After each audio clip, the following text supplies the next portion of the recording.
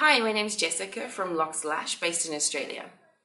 I'm going to make a video regarding some of the key points that beginner lash technicians have trouble with. This is for classic lashes. The first video is on isolation. So basically to isolate, what you want to do is you want to, it's easier to use, when you're beginning, it's easier to use two tweezers. And what you want to do is you want to use both tweezers and you want to kind of wade through the eyelashes. Then you push the ones that you don't want out of the way. So then you've got perfect isolation there. Then you come along here and you get right down close to the eyelid. That way that you're going to skip any baby lashes. If you isolate from up here, can you see how I've then all of a sudden got all of these little lashes sticking out? So you really want to isolate as close to the eyelid as you can without scraping the client's eyelid like so.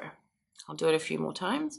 So I come along with both tweezers and I like wade or push my way through the uh, eyelashes to get my little thing. The other key is is you want to start off with your tweezers, your isolation tweezers, whether you use curved or straight, it's entirely up to you. You want to make sure that you start off with them closed to see how they're closed and then what I'm doing is I'm coming along here and I'm uh, wading through the lashes until I get one, and then I open it up around the uh, single lash. I'll do it again.